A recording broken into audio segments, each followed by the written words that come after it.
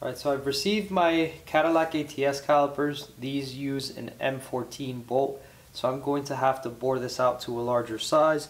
I've got a drill bit here that is a 35 64 so I'm going to bore it out to that, and then if need be, I'll go out the full 14 millimeters with the next size drill bit. However, I'm thinking the 35 64 might actually be just the right size for the M14 bolts I have, which is unusual because you would assume that it would have to be a 14 mil.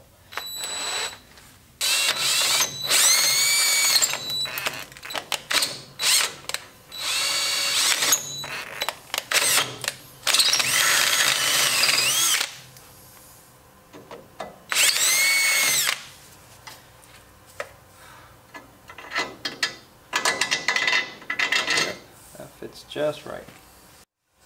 So up until now, drilling into the spindle has been very easy and that last hole was actually very frustrating to make. So I'm going to go ahead and start off with a unibit. This uh, is actually a little too big, it goes to 9 16 but I'll start the 9 16 just to make a groove to kind of center my drill bit. Hopefully that'll give me a much better drilling experience.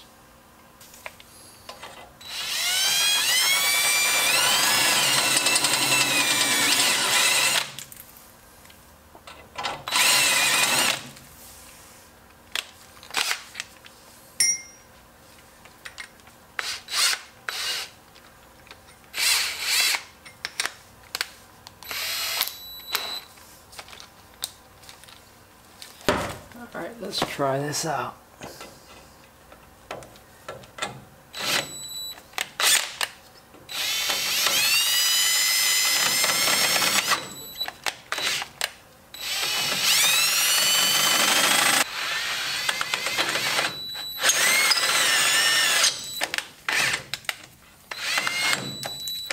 Gotta get me a bigger batter drill.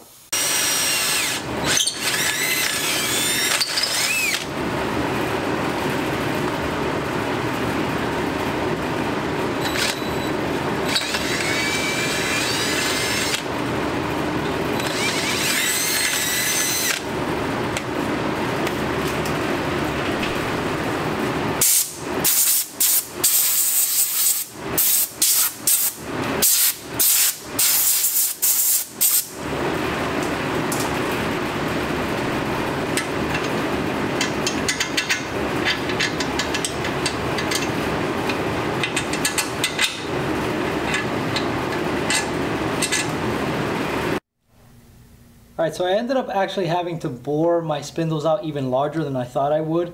I got up to the M14 and I still could not get the bolts to line up. And what I've realized is even in the case of the ATS, it doesn't really align to the Tacoma spindle perfectly. It's close, but it's slightly off. As a matter of fact, it may actually be exactly the same as the CTSV after all. Um, so I've actually had to bore this out to, I want to say, yeah, I've had to bore this out to 11 sixteenths. Now, because what I have for doing this is a unibit, it's probably more like 5 eighths in the center, so you might get away with just boring it completely through to 5 eighths. But I had to go to the 11 sixteenths with the step bit that I have, and it worked on the other side, so I know that this side is going to work. Plus, I've already test fit it. So let's go ahead and place first our bolts. When you're mounting these calipers, you're gonna need to use a couple washers. You could just get a shorter bolt and not need the first two washers, which I'm using to just space the bolt off of the rotor itself, right? I'm just trying to keep it from hitting. I really could go down to one washer and still not hit, but I worry that in the event that this rotor were to expand on track, if it were to expand sufficiently, it might touch because without that second washer, it does come very close. Now there's another washer that's gonna go between the spindle and the caliper, and that's just kind of spacing the caliper out so that it's centered over the rotor. This is slightly thicker um, than one of these, but not as thick as two of them together. So what I'm going to do is I'm just gonna place this here for now, as is. Then I'll bring the other one. and do basically the same thing. And as you can imagine, it's going to be difficult to get all this stuff like this with that washer there and not have it fall out of position, but I managed it on the other side. I think I'll manage it here. So here comes my caliper. Try to keep it as close to the rotor as possible. All right, we're reaching the first bolt.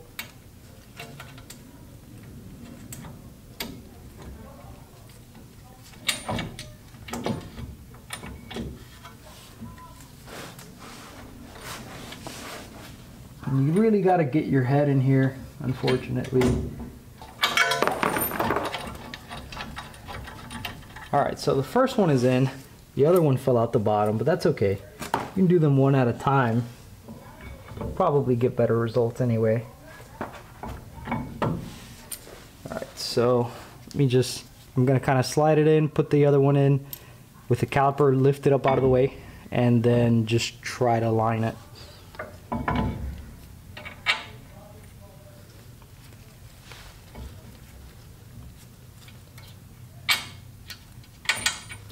Alright, I got it. Here comes the caliper.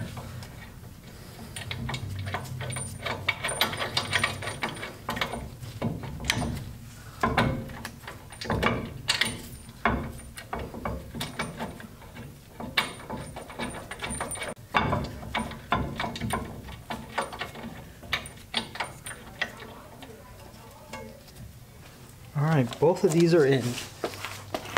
So here's the tricky part. These things got to get torqued um, per what I found online to 95 foot-pounds and you should use red Loctite. So in order to do the red Loctite, I have to take them back out. But it's much easier to do this, right, with one already in. So I'm gonna go ahead and back out the top one, Loctite it, then turn it down, and then I'll do the bottom one. So I've got some uh, red Loctite 271 what I'm going to be using. Let's go ahead and do that. And check your rotor, make sure you got clearance.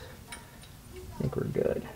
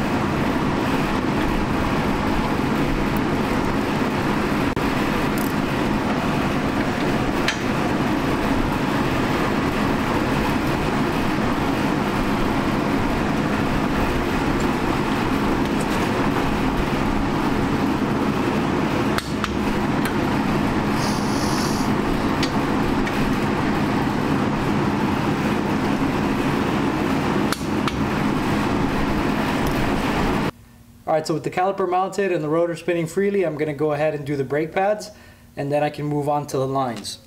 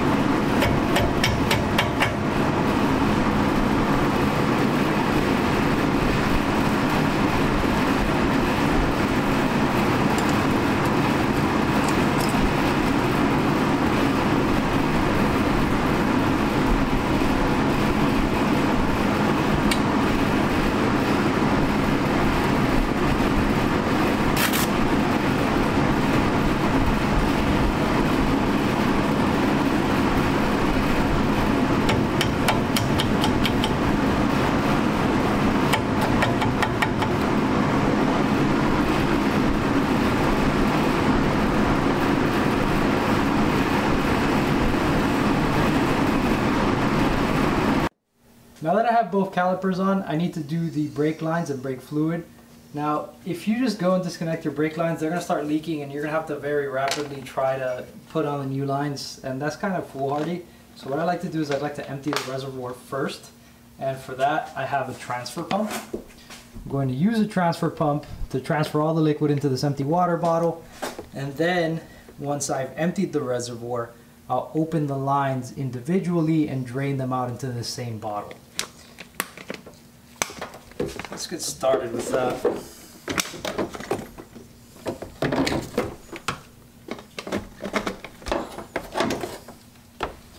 Now, there's always a little mesh in here.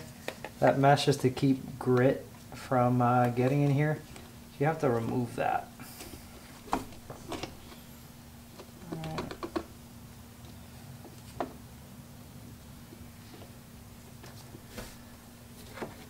And here we go.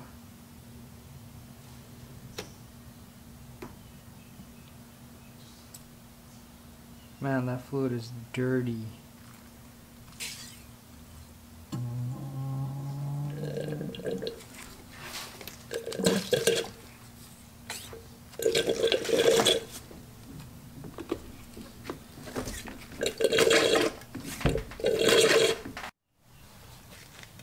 Now that the reservoir has been drained, I'm going to go ahead and disconnect the lines from the old calipers and just let them drain out into that water bottle. Note that I've got a couple of 2x4s holding it up because otherwise it wouldn't stand on its own and I risk spilling brake fluid. So I'm going to go ahead and take that apart and then I'll pump the brake in order to drain that line.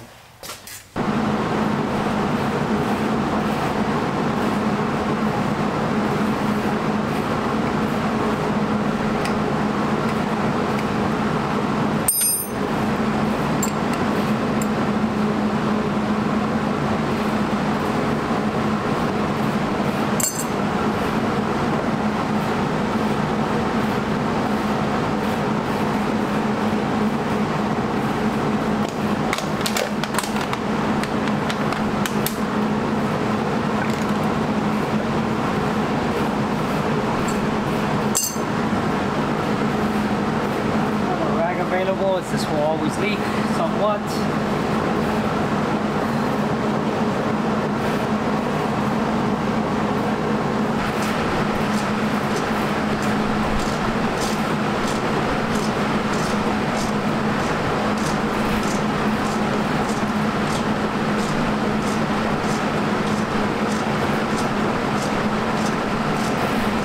So in order to remove the brake line, I've got to first remove this clip back here. Then I'm going to hold this while I undo the 10 millimeter hard line from the Tacoma back here. And with that removed, I'll be able to come in and put my new brake line there. But first I've got to get this clip out of the way.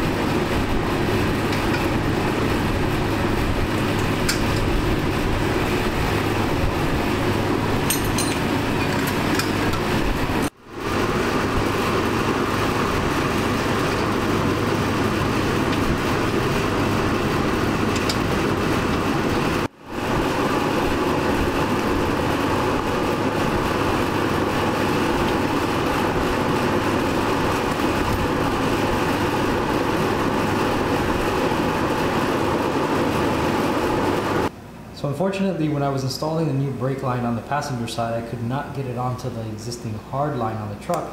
And the reason is because the last time I did this, I must have over tightened the fitting that went here and it caused this nut to slide forward over the flare and it actually flared out. So it doesn't fit inside the brake line. So unfortunately, unless I plan to cut this, put another fitting and reflare it, the only thing left to do is really to make my own line. So I've gone ahead and purchased the line and I've purchased a simple tubing bender. I'm going to go ahead and bend up a brand new line to replace this one. So I've got these two bending pliers here. You'll use a roller die that's intended for the diameter of the tube that you're using. In my case, this is 3 16 so that's the die that I have on there. It's a very simple tool to use. You can kind of just place the pipe like that and then push down on it, bend it however you want to. So I'm gonna go ahead and just follow the same bending that's been done on the stock line. But first, let's go ahead and remove the sticker.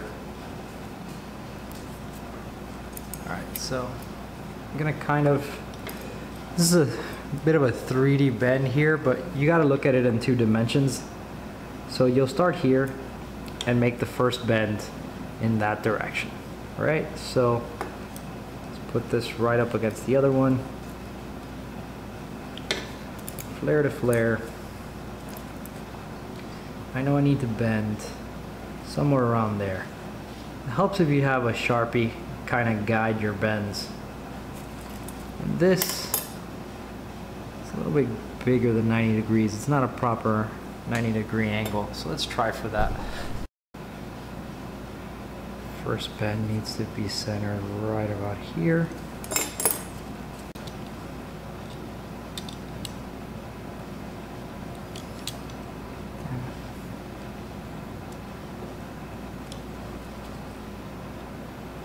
All right.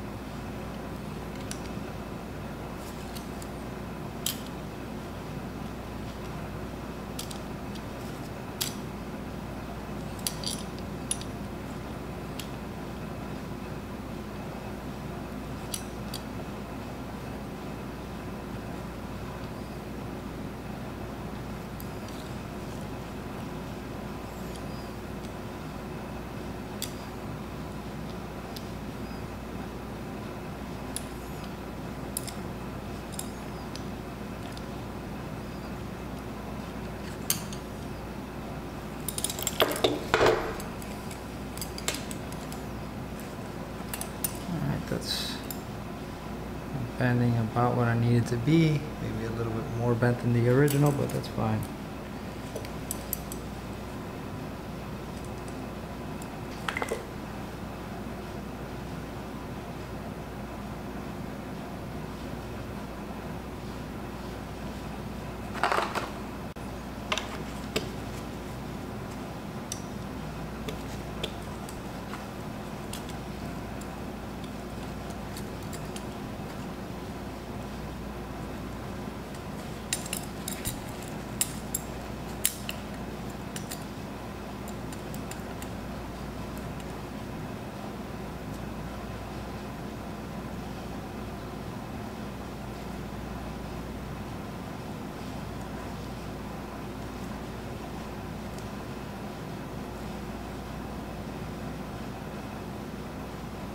Alright, cool. Got that down.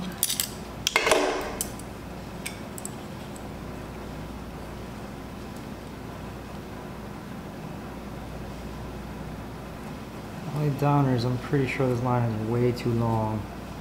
Or rather, it's about an inch too long. The original line's about 11 inches long, and this one's about 12 inches, so it's the unfortunate reality of the situation.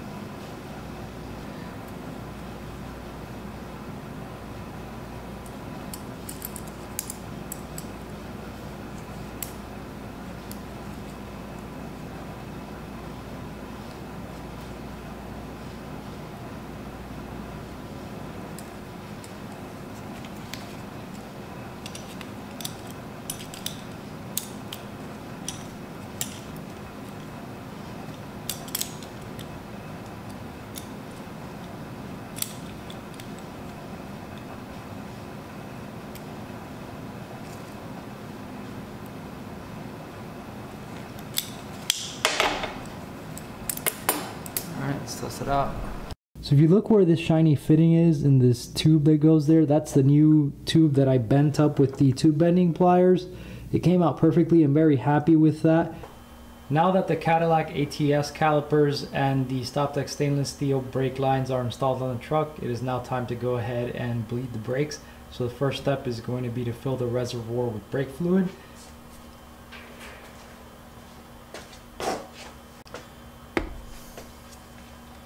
Very careful with this step. Brake fluid is highly corrosive. It will eat through your paint.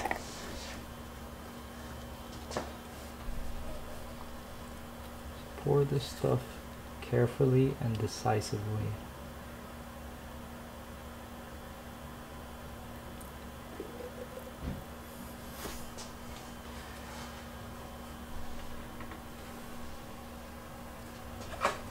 You're just gonna pour until you hit the max line that's on the side of this.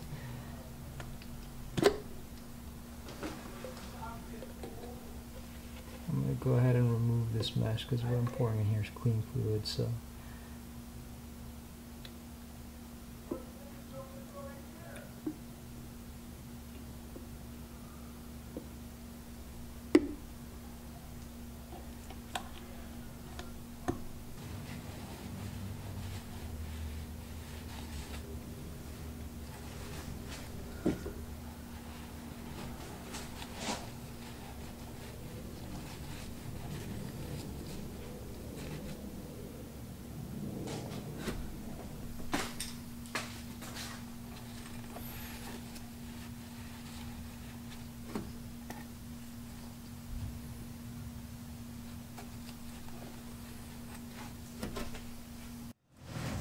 Alright, so now that I have the brake calipers mounted on and I have the brake lines mounted on, I'm going to go ahead and bleed them. So I've already gone and added fluid to the reservoir, pumped the brakes a couple times, just release the lines on the reservoir and lock them back up. Now I'm going to do the calipers. So what I've got here is just a tube going through the cap of a water bottle that I drilled a hole in and the tube is connected to the brake caliper bleeder screw. I've got a hollow socket on that so if you look, you see that my tube goes through the socket, which is hollow. This is what I'm going to use to open this up. So right now I'm just going to crack it, then I'm going to go pump it, and I'll come back and lock it, pump it, crack it, etc. You can bleed by yourself doing this. Although having someone to pump it for you is obviously a little bit faster and more efficient.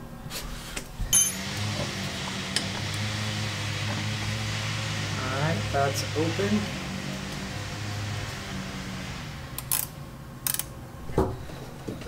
Get pumping.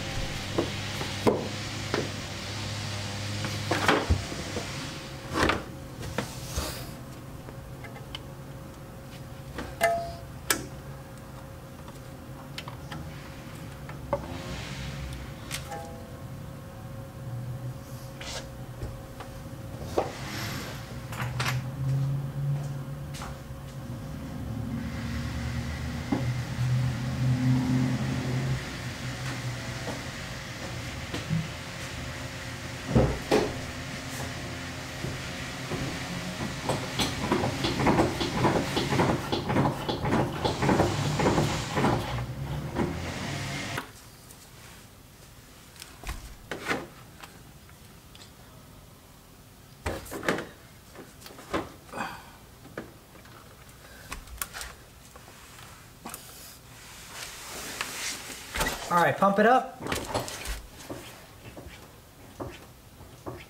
Hold it.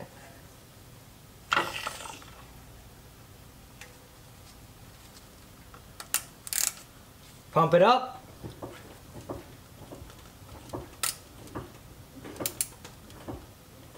Hold it.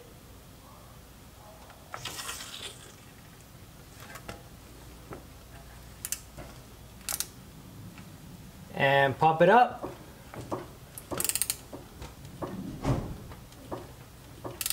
Hold it.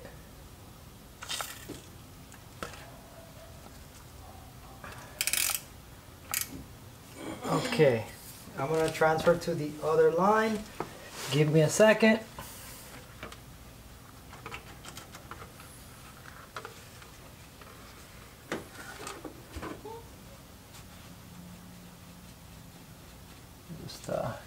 Up some brake fluid here because brake fluid is really corrosive. So if it gets on anything, it'll eat the paint off of it. It's pretty nasty stuff.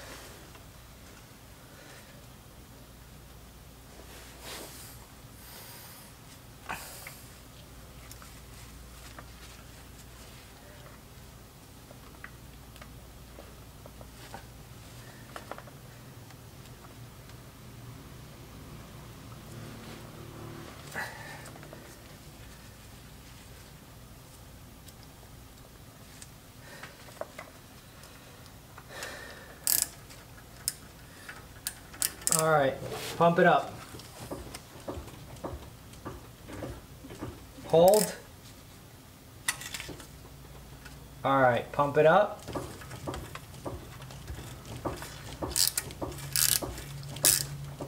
Hold.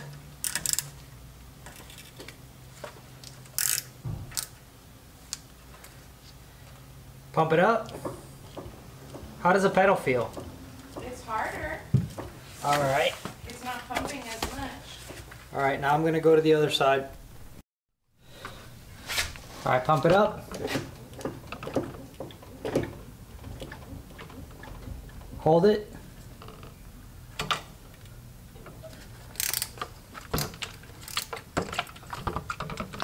Let me really quickly pour some extra fluid in the reservoir.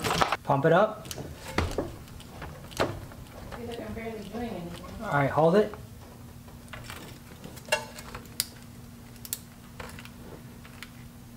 It's getting real hard, huh? Yeah. Perfect. moving the car, not even moving the brake. Beautiful. That's exactly how it should feel. It. Sorry. We're almost done. We've got one more side to bleed and we're done.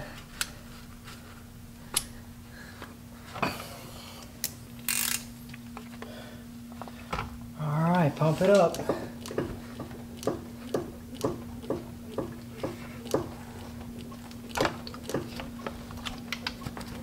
Hold it.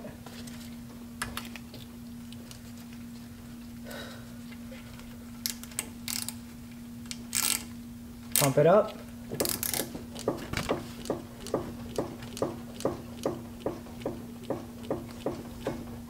Okay, hold it.